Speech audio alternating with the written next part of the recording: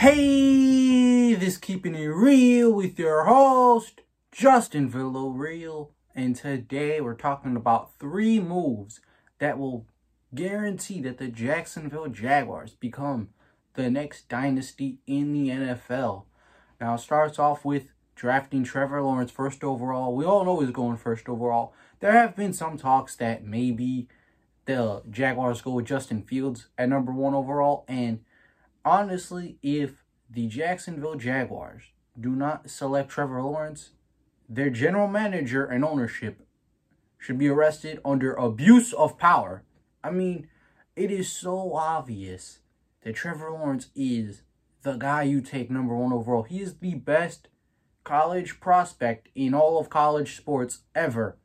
He is the guy you take first overall. Now, you have a second first round pick, and I would go with his friend Travis Etienne, running back out of Clemson. Now, I know a lot of you are thinking the Jaguars already have James Robinson at running back. Why would they go with a running back with their second first round pick if they already have a really good running back? Well, number one, a lot of successful teams have multiple running backs.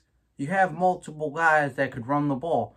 Also, Travis Etienne going to be great in the special teams as a punt returner, as a kick returner, and a guy that is going to be able to make more juke moves, get out in space.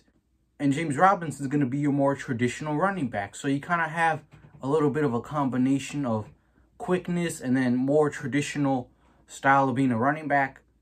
And that's always good for any team. Look at what the Bears are doing with Tarik Cohen and David Montgomery, something like that. Alvin Kamara and Mark Ingram back a few years ago. That's what the Saints did. So you could kind of do that here with Travis Etienne and James Robinson and really make a great running back duo for your young quarterback because running the ball is going to help protect him a lot more because he's not getting hit when Etienne or Robinson is running the ball.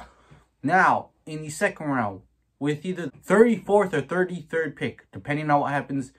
Um, tomorrow we'll know if the Jaguars get the 34th or 33rd pick.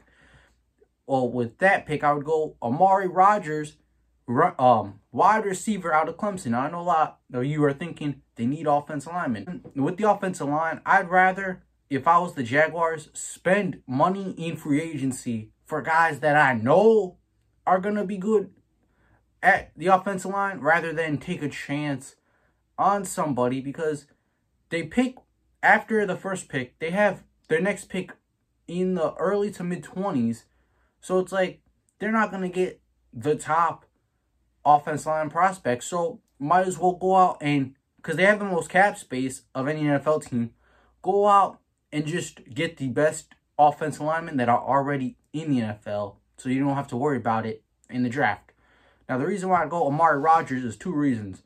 Number one, once again, someone that Trevor Lawrence is used to. Somebody that's going to make him feel more comfortable because he's known Etienne and Rodgers for the past three years. He's These are guys he's familiar with. These are guys that are going to make him feel more at home in Jacksonville. These are guys that, like, every quarterback has their guys that they prefer to throw the ball to. Look at like Trubisky and Allen Robinson, Drew Brees, Michael Thomas, Tom Brady, Julian Edelman. You want to get those guys that your quarterback is comfortable playing with, comfortable throwing the ball to, and that's why Rodgers and Etienne are good picks. Not only that, but you look at what the Chiefs have going on. You look at the Kansas City Chiefs. They have a lot of offense weapons for Patrick Mahomes, their quarterback. Well, Trevor Lawrence is more talented than Patrick Mahomes. So do what you're do what the Chiefs are doing with Patrick Mahomes. Surround him with weapons. Amari Rodgers, Travis Etienne, these are guys that have speed, that can make plays in space, that have great juke move abilities. And so Amari Rodgers can be the next Tyreek Hill. Travis Etienne can be the next guy like oh, a Tyreek Hill, like a Mecole Hardman. Like these guys that you look at the Chiefs, they have guys that can make juke moves in space. They have a bunch of those on their team. Sammy Watkins, all those guys. So make it like that in Jacksonville because you already have DJ Chark, you already have Dede Westbrook. You add Amari Rodgers as your slot wide receiver and Travis Etienne and then James Robinson. That's five offensive weapons for your young quarterback to throw the ball to, to get the ball to. And then now you're kind of like a younger version of the Kansas City Chiefs. And if you spend your money in the offensive line, you don't have to worry about it in the draft because you're going to fix it in free agency. Now, the one move that I really think the Jaguars should make is signing quarterback Josh McCown. Now, don't get me wrong. Trevor Lawrence is a day one starter.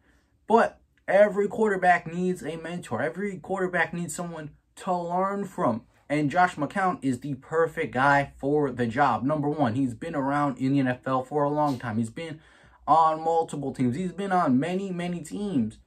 And he's going to have a lot of experience to share with Trevor Lawrence. There's a lot that he can teach Trevor Lawrence. Not only that, and this is going to sound silly, but hear me out. Both Trevor Lawrence and Josh McCown are super religious. That's something they could bond over. And it's always good to have something to bond over other than just playing football. It's something to have, it's good to have something that you could bond over with a teammate of yours other than just the fact that you guys play the same sport. And that's what McCown and Lawrence have. And that's why I think he'd make the perfect mentor. Number one, been around in the NFL a long time. Number two, they have something they could relate over, bond over, have something in common outside of football. Those are two things you look for in a mentor quarterback, in someone that's going to mentor your young quarterback. I think him and Trevor Lawrence would go along really well. McCown being the backup, Lawrence being the starter. I think that'd work out really well for Jacksonville. And if you added Etienne and Rodgers to the offense weapons you already have, now you're a very, very scary offense. And you probably can beat the Kansas City Chiefs in the next two to three years if you make those moves. That's all for today's video. Don't forget to like and subscribe for more sports content.